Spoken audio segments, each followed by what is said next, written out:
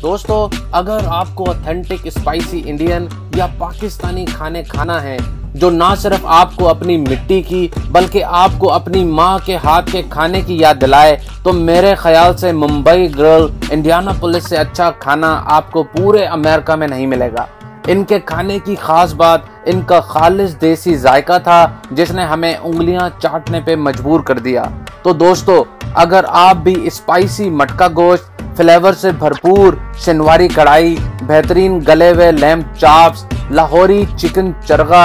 barbecue chicken tikka कबाब authentic Mumbai dum mutton biryani और माँ के हाथ का जायका चाहते हैं तो मुंबई ग्रिल को ट्राई ज़रूर कीजिएगा और अपने फीडबैक से हमें ज़रूर आगाह कीजिएगा तो चलिए दोस्तों आपको लेके चलते हैं मुंबई ग्रिल और देते हैं आपको अपना food review so let's go and let's check it out